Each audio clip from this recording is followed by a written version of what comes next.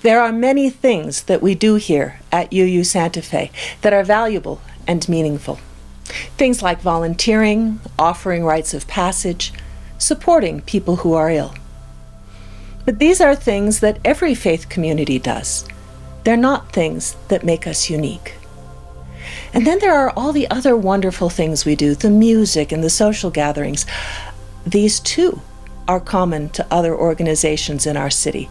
There are many groups which celebrate the arts and music, many groups that create contexts for stimulating intellectual conversation, many groups that work to make our world a better place. So, what is it that makes UU Santa Fe different? What is it that's unique and valuable about our congregation? What do we offer that no one else in Santa Fe can offer?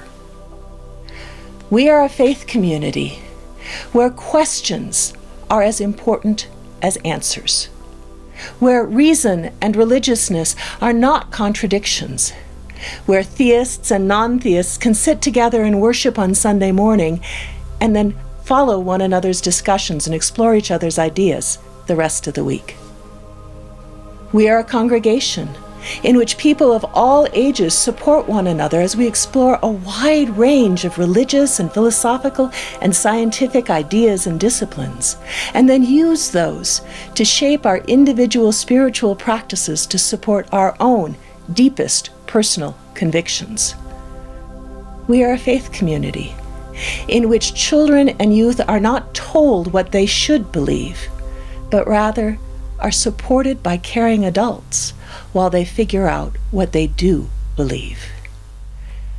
We are a place where people from many different faith traditions can explore our commonalities and our differences and act together on our shared values. We are a community where civic involvement is a religious obligation. We are an historically welcoming congregation where the spectrum of human sexual expression is acknowledged and celebrated, where many different kinds of diversity are welcomed and valued. We are a faith community where aging well and dying with dignity can be openly discussed and supported. These things are part of our core identity. They are a part of our unique gift to the larger community, and they are important. We may be the only congregation in Santa Fe where all of these things are true. What are they worth?